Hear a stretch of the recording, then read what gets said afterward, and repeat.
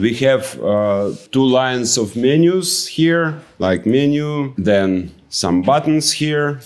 Then we have a big part called panel also.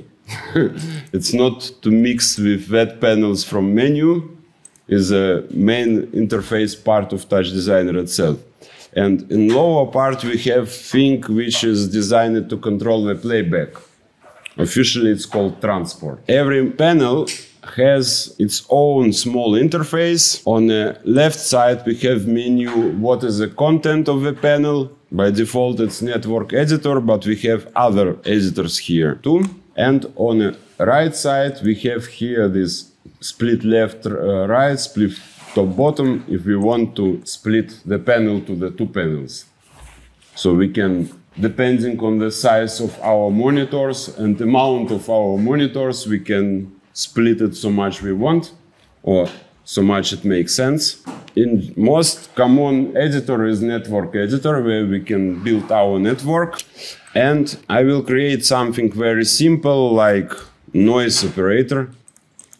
And let's take a look what we have here in operator, what kind of interface it has. Like I said, every operator is kind of function. Yeah, it's doing solve some task.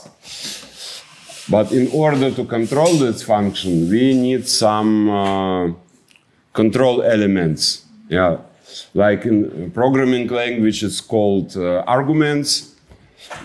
In TouchDesigner, it's called uh, parameters. And in order to control parameters, we have here the parameter editor, this window. Depending on what kind of operator is selected, we see different parameters here. But the node itself, it has also its own interface. We have some buttons here, here, and some buttons here. I will start with that. First, every operator design it with a big block showing the content of this operator.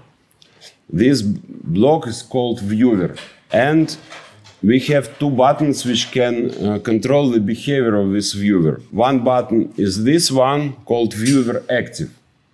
If I click on this button, I kind of going inside of this viewer and can interact with it.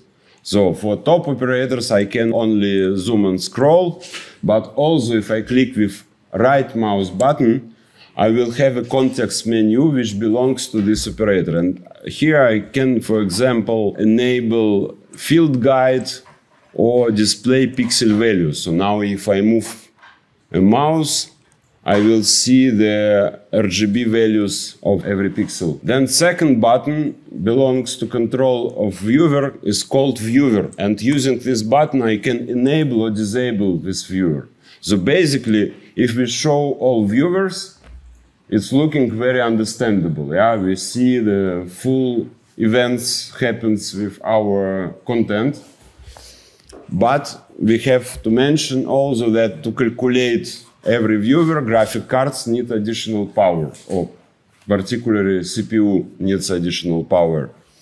So basically, if you have patch containing a thousand of node, the displaying of these viewers takes a lot of energy from your computer.